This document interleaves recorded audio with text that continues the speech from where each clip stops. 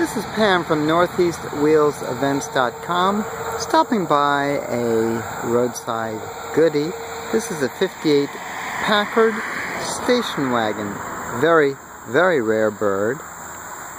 Now if you notice the way how the quad headlights were bolted on, look at the way how the mouth was put on the standard Studebaker front end uh, to give it that distinct uh, Studebaker look. Now look at that roof line. You'll see pure Studebaker at that point.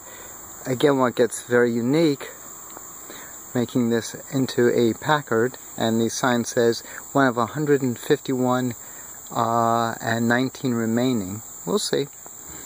Look at the way how the fender lines, the wings were grafted on. Very, very ingenious way of making, unfortunately so, the last Packard something just a little bit different.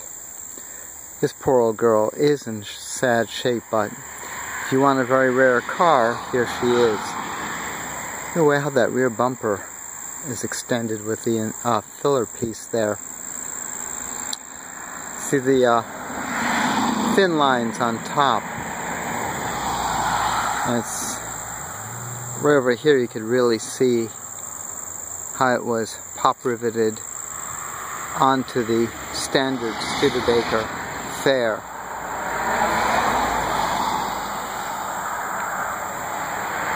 Again, this is Pam from NortheastWheelsEvents.com stopping by seeing some roadside goodies.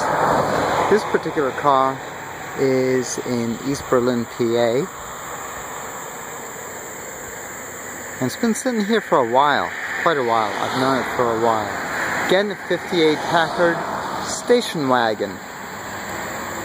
Make sure you check the calendar of events at northeastwheelsevents.com frequently.